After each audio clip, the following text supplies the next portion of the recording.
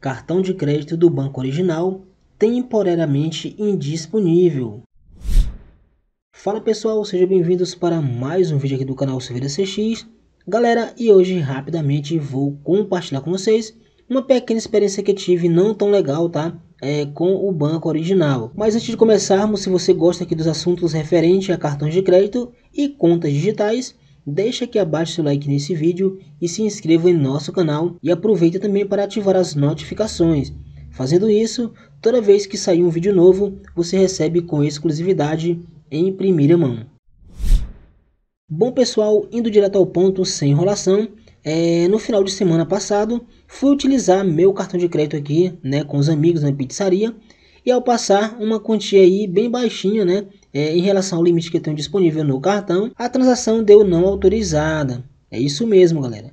E aí repeti o mesmo processo e novamente transação negada, ok? Aí eu fui verificar minha caixa de e-mail e o aplicativo e não tinha nenhuma notificação a respeito do bloqueio do cartão. E aí tá para vocês na tela, galera, o limite que eu tinha disponível ainda aí no cartão, né?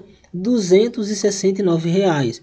Claro, antes de passar o cartão, é sempre bom você conferir de fato né, se o cartão está ok, né, se o limite realmente está disponível, tá? E aí, é, após ter conferido tudo isso, fiz a transação. No entanto, a transação não foi aprovada, tá, galera? Agora, pessoal, imagine o constrangimento de um cliente, né? Se dirigir a um estabelecimento e na hora que for passar o cartão de crédito, der negado, né?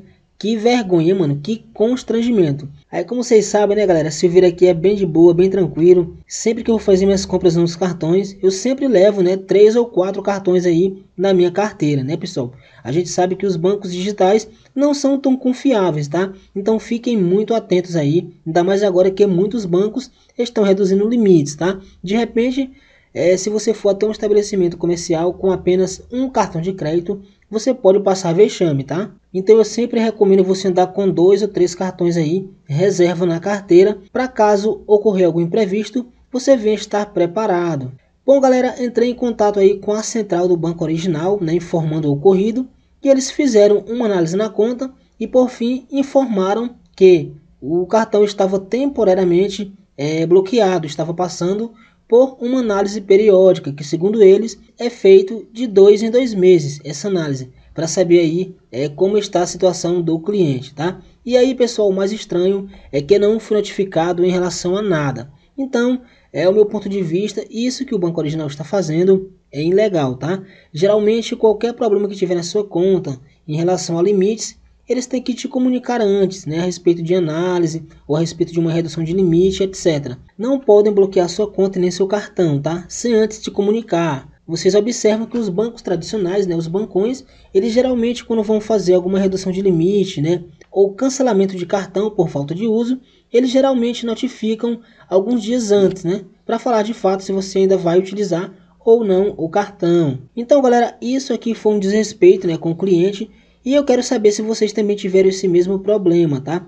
Ao passar o seu cartão no estabelecimento, deu negado. Me contem aqui abaixo, tá? Lembrando que seu comentário é muito importante para a nossa comunidade. E para quem não sabe, essa semana o Banco Original reduziu o limite de muitos clientes. É isso mesmo, galera. Muitos clientes que tinham em torno de 30 mil no cartão, 40 mil, 50 mil reais, tiveram reduções absurdas, tá? Cheguei a ver pessoas aí com 50 mil reais de limite, reduzindo apenas para 1.500 reais. É, galera, se a pessoa tem o cartão e não utiliza o limite, de fato merece uma redução, tá? Agora, se você é um cliente ativo no banco original que sempre é, utiliza seu cartão de forma recorrente, Aí nesse caso eu já não concordo, né, galera? Já é uma falta de respeito para com o cliente, tá? Agora quem está com ele na gaveta parado realmente merece uma redução. Caso contrário, é uma falta de consideração para com o cliente. Então me conta aqui abaixo aí se você teve alguma redução no seu limite, é, bloqueio da conta, do cartão e etc, tá bom? Lembrando que seu comentário é muito importante para a nossa comunidade. Qualquer dúvida, deixe aqui nos comentários e assim que possível venho com mais novidades para você.